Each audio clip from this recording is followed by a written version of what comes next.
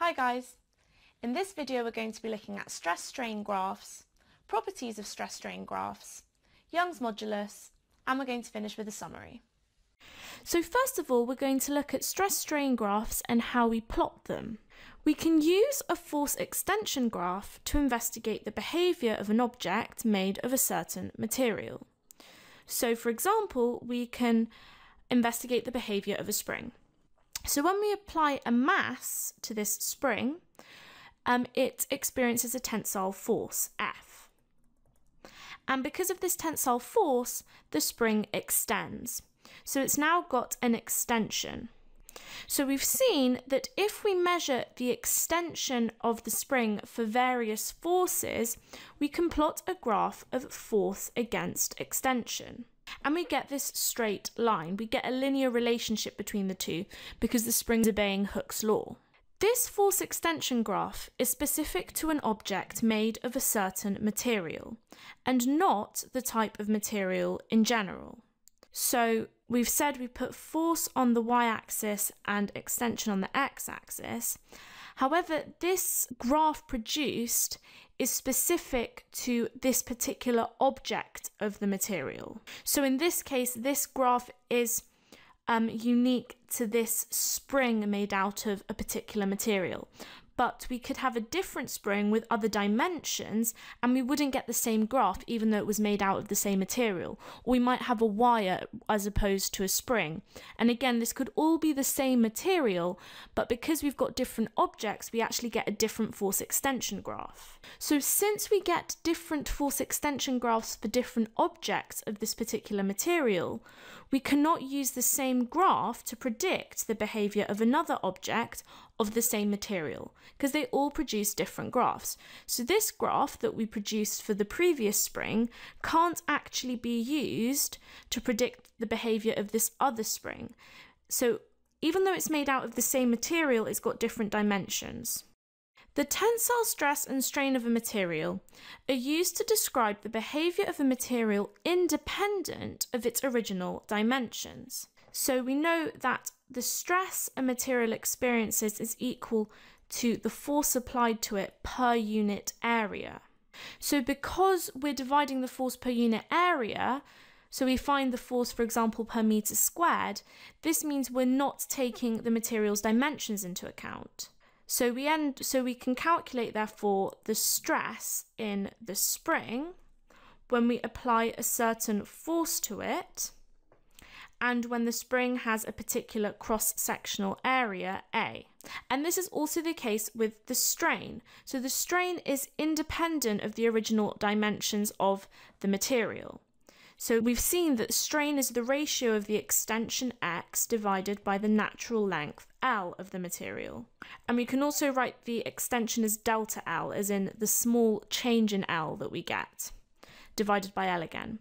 So if the spring was originally this length, we can see that it's now got an extension x or delta L.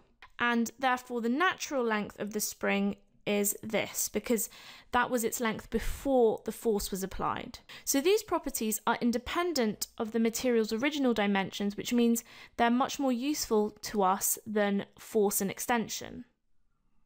So, using these properties, we can produce a stress strain graph of a material to investigate its behaviour under a tensile force.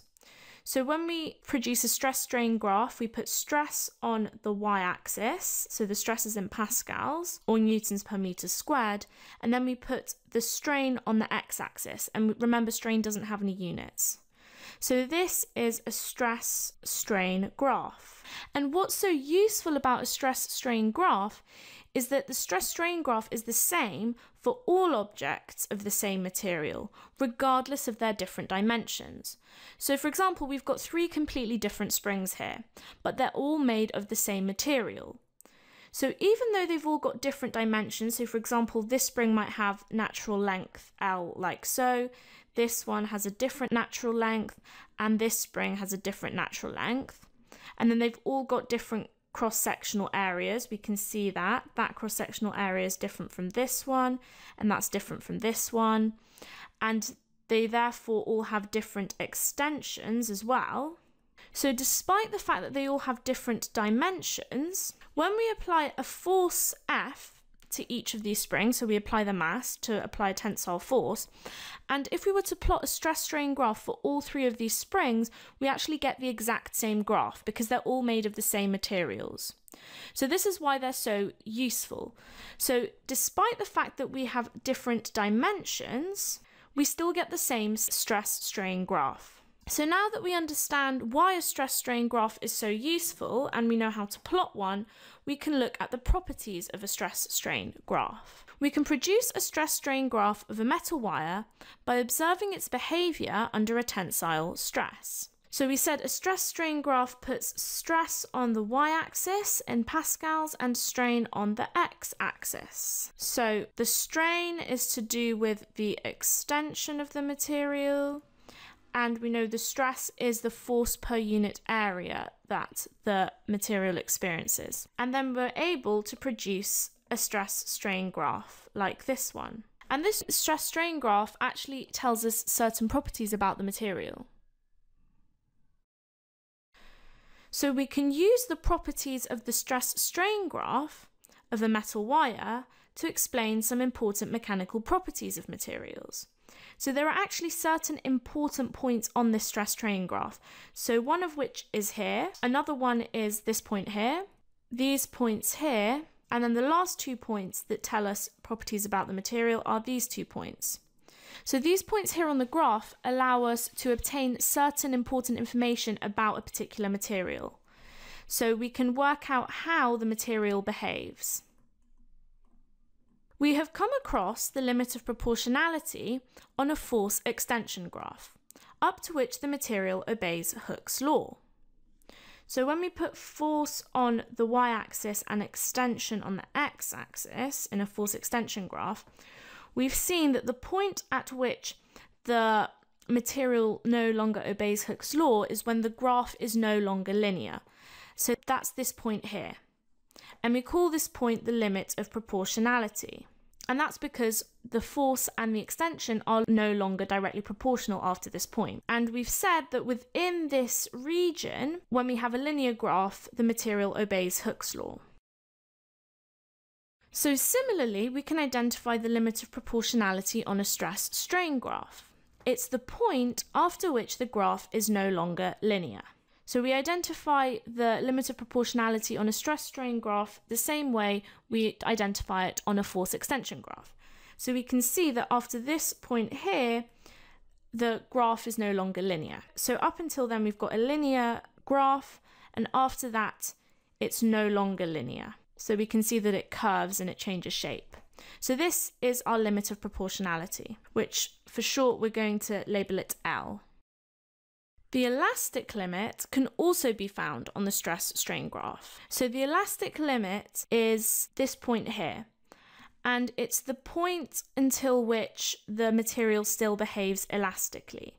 So up until the elastic limit, and we're calling, we're going to label the elastic limit E, the material is going to behave elastically. And what this means is that it's going to return to its original shape after the load has been removed.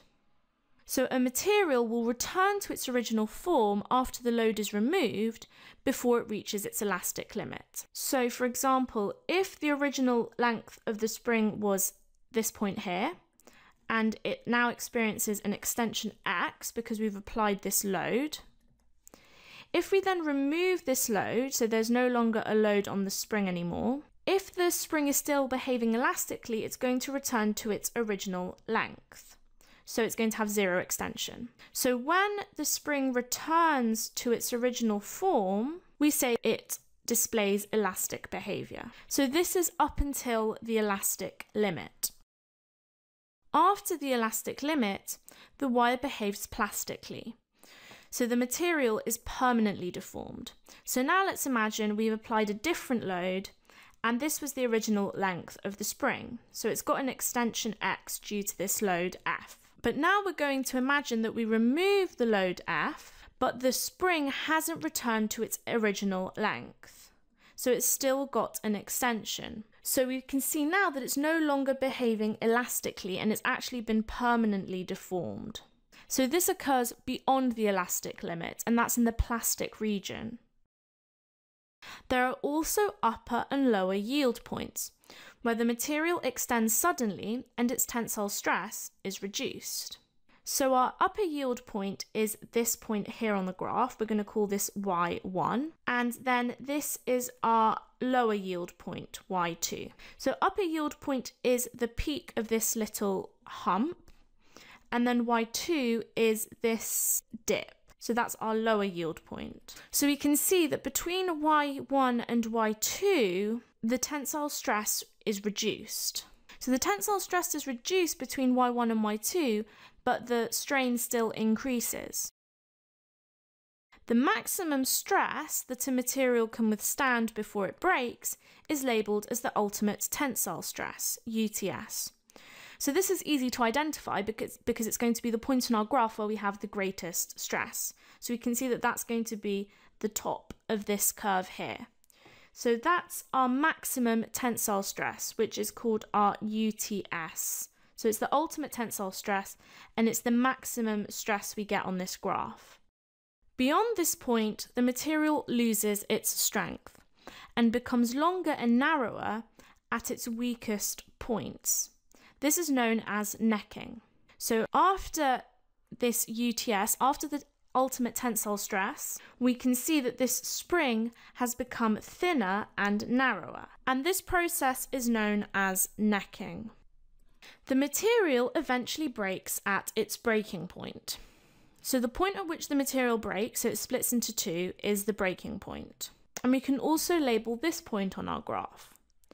So the stress at which a material breaks is called the breaking stress or fracture stress.